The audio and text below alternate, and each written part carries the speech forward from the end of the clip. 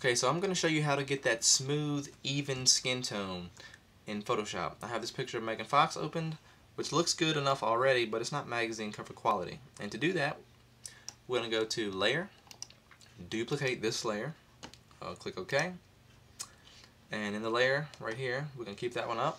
We're going to go to Filter, Noise, Dust and Scratches, and select it until you have just a creamy looking image. You don't want to blur out all your details.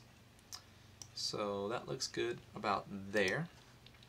And then we're going to go to filter again and blur. Gaussian blur or Gaussian blur, I'm not sure how they pronounce it in the pros. And we're going to use this and just basically to blur out all the hard lines that dust and scratches filter left. And once again, don't blur everything so that you lose detail. Okay, and mine's to be right there it looks like. And then we're to go to filter noise again and add noise. Now we're just to add just a little bit of texture to make it look like skin tone.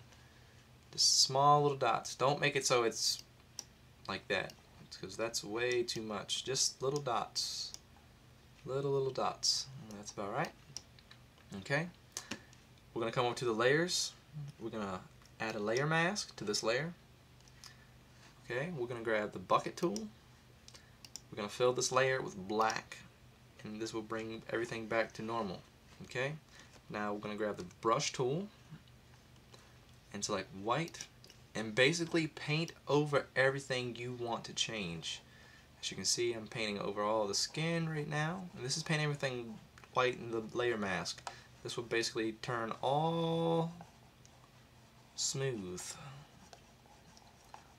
And even out your skin tone. Make everything it'll take down some shine. Make everything look magazine like of course you have to use your own settings for your own pictures. You, you, you use the same format I'm using but pictures are different. Different quality pictures call for different settings. So just experiment around but basically that's the format you're going to want to follow. And just play around. It takes a little bit of you know time to get it exactly but it's not that hard. Anybody can do it. And as you can see there you go. And that's it